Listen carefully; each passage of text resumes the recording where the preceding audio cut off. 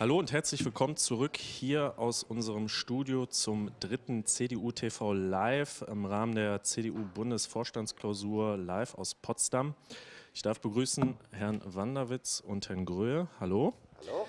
Herr Wanderwitz, Sie kommen aus Sachsen, ähm, genauer genommen aus Chemnitz.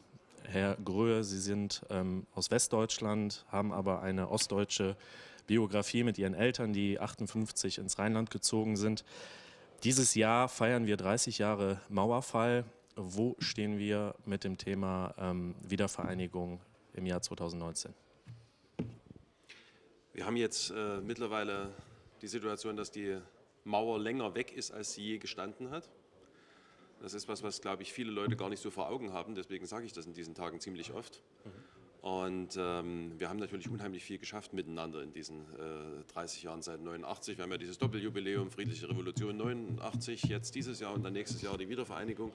Und wenn man junge Generationen, junge Menschen trifft, ähm, die kein eigenes Erleben mehr an die ehemalige DDR haben, dann ist das Schönste, dass man regelmäßig merkt, dass die eigentlich gar nicht darüber nachdenken, dass es mal die Teilung gab, äh, sondern äh, dass die gemeinsam äh, über Zukunft, über Europa und dergleichen sprechen und eben überhaupt nicht mehr an das Vergangene denken, weil die Gegenwart zum einen so gut funktioniert und zum anderen natürlich die gemeinsamen Herausforderungen in der Zukunft da sind. Ja, ich denke, das Entscheidende ist, dass äh, es längst die Erfahrung gibt. Es gibt Dinge, die uns verbinden jenseits dieser sozusagen alten und längst überkommenen Aufteilung. Es gibt Herausforderungen in dem Land Stadt-Land.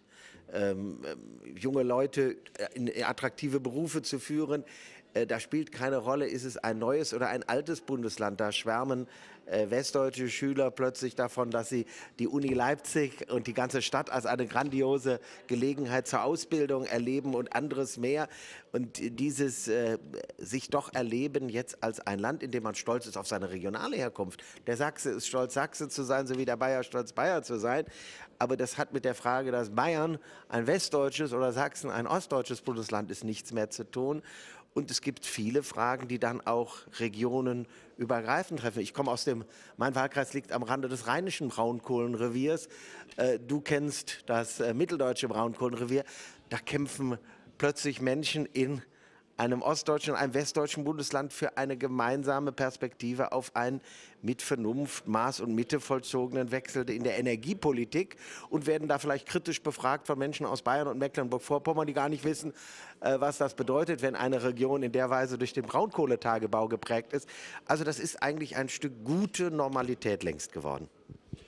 Ja, für Sie, liebe Zuschauer, die Aufforderung, stellen Sie uns Ihre Fragen. Ähm, wir bekommen sie oder ich bekomme sie hier aufs iPad ähm, geschoben und stelle sie unseren Studiogästen. Herr Wanderwitz, wo haben Sie 1989 den Mauerfall erlebt? Bei mir zu Hause in Hohenstein-Ernsthal. Ich war damals äh, junger Mann, Jugendlicher, wie man so schön sagt. Äh, bin äh, 75er Jahrgang. Äh, das war ich also in einem Alter, wo äh, ich die Dinge noch nicht ganz so allein entscheiden konnte. Aber ich war mit meinen Eltern äh, engagiert in dieser Zeit. Ähm, es war unwirtlich im Sinne von, äh, ich glaube, die allerwenigsten haben das äh, kommen sehen, äh, diese Dynamik. Wir hatten dann äh, natürlich die äh, Kommunalwahl im Frühling 89 und dann dieses Jubiläum 40 Jahre DDR und dann hat das Ganze so eine wunderschöne Dynamik bekommen und ähm, das war ein großes Geschenk und ähm, das habe ich damals auch so empfunden, soweit ich es schon in seiner ganzen Größe aufnehmen konnte in dem Alter, in dem ich damals war. Für mich war das ein politisches, aber ganz wesentlich auch durch die Familie eine persönlich bewegende Situation. Meine Mutter ist unweit von Hohenstein-Ernsthal in Niederlungwitz aufgewachsen. Mein Vater in Niesky bei Görlitz. Sie haben in Leipzig studiert, mein Vater dann an der Uni gearbeitet und auch durchaus nach erfahrener Repression wegen Engagement in der evangelischen Kirche den Weg nach Westdeutschland über Berlin äh, angetreten. Und insofern war der Blick auf das, was sich tut, auch die Sorgen, geht das gut mit den Montagsgebeten, mit den Friedensdemonstrationen, gibt es ein gewalttätiges Einschreiten, das war immer der Blick auch auf äh, die äh, Lebenssituation der eigenen Verwandtschaft, der Cousinen, der Cousins, auch die Bewunderung dafür, dass auch ganz junge Leute den Mut hatten, auf großes Risiko hin zu sagen, wir trauen uns was. Wenn die Angst verschwindet, verschwinden irgendwann auch die, die uns Angst machen die ganze Zeit. Und äh, das hat äh, mich sehr bewegt. Ich bin am 3. November mit äh, dem, beim Deutschlandtag der Jungen Union als frisch gewählter Bundesvorsitzender mit Helmut Kohl sind wir in Erlangen durch die Innenstadt gezogen als Zeichen der Solidarität mit den Demonstrierenden in Plauen, in Leipzig, in Dresden, in vielen Orten hatten Kerzen in der Hand. Bilder, die dann auch abends über die Nachrichten zu den Menschen in der damaligen DDR gingen. Und ich bin, hatte dann das Glück, als wir am 10. November noch ganz im Banne des Geschehens der Nacht standen, noch einen Flieger nach West-Berlin zu bekommen und dann am Abend selbst auf der Mauer in unweit vom Brandenburger Tor zu stehen, ein kleines Stück rauszubrechen, das auch heute, fast 30 Jahre danach, noch auf meinem Schreibtisch liegt. Also das ist etwas, das vergisst du nie.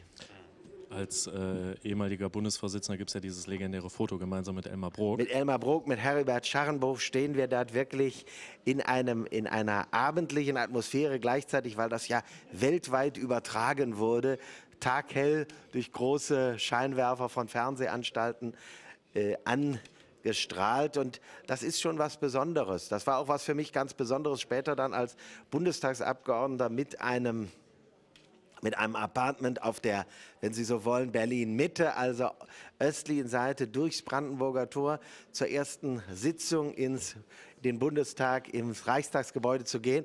Als es über die äh, Mauerlinie ging, die längst nicht mehr existierte, nur noch als ähm, Strich sozusagen im äh, Asphalt, habe ich meine Eltern mit dem Handy angerufen, dass ich jetzt quasi in dieser Weise frei die Grenze überwinden kann, die zu, für sie 58 noch ein Risiko darstellte. Und insofern äh, ist immer wieder in der Erinnerung riesige Freude. Besser Wessi, Jammer Ossi, wir kennen diese Plattitüden. Ist das heute immer noch so? Also ich nehme das relativ selten noch wahr. Im Sinne von ähm, weder bei äh, denen, die das, als es durchaus äh, häufiger der Fall war, äh, in den ersten Jahren noch erlebt haben und insbesondere bei den Jüngeren nicht.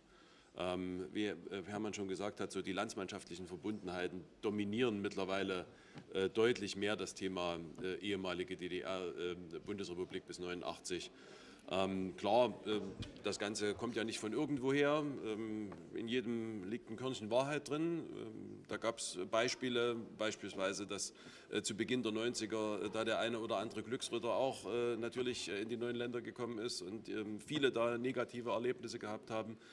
Ähm, aber das ist jetzt äh, meinem Eindruck nach weitestgehend erledigt. Wir haben mittlerweile die Situation, dass wir auch ganz viel äh, junge Menschen haben, die beispielsweise äh, ganz bewusst äh, sagen, ich äh, suche mir in der Heimat meiner Eltern äh, wieder eine Zukunft. Also wir haben auch äh, Wanderungsbewegungen, die wieder in die andere Richtung stattfinden. Viele, die lange gependelt sind, kommen zurück. Und ähm, das liegt auch daran, dass die Stimmung einfach gut ist. Also ich habe mich schon vielleicht gerade wegen dieser familiären Situation über manche Haltung im Westen geärgert. Mich hat es schon als Schüler ehrlich gesagt geärgert, äh, wenn Klassenkameraden wie selbstverständlich davon ausgingen, dass die DDR Ausland sei. Ich fand nicht, dass meine Oma, meine Cousinen, Cousins, Tanten, Onkel im Ausland lebten. Und ich fand es auch komisch, dass ein Rheinländer vermuten konnte, dass das Goethehaus in Weimar im Ausland liegt oder die Thomaskirche oder die Wartburg. Also äh, mit Verlaub, äh, das äh, war schon eine Verkürzung der eigenen ja auch Identität. Und wir sehen heute natürlich großartige Erfolge der Menschen in den neuen Bundesländern, aber wir sollten darüber nicht vergessen, äh, dass die letzten drei Jahrzehnte den Menschen in den neuen Bundesländern unendlich viel zugemutet haben. Wie viele Familien haben als normale Erfahrung mehrere Berufswechsel, Arbeitslosigkeit, Hoffnung, dass ein Betrieb gerettet werden kann, dann, und das war ja Hinterlassenschaft sozialistischer Fehlwirtschaft, dann Zusammenbruch.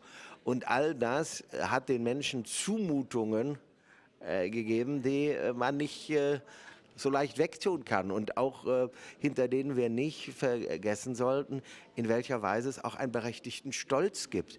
Wir schauen auf 30 Jahre ähm, Mauerfall, wir schauen auch auf 70 Jahre Grundgesetz.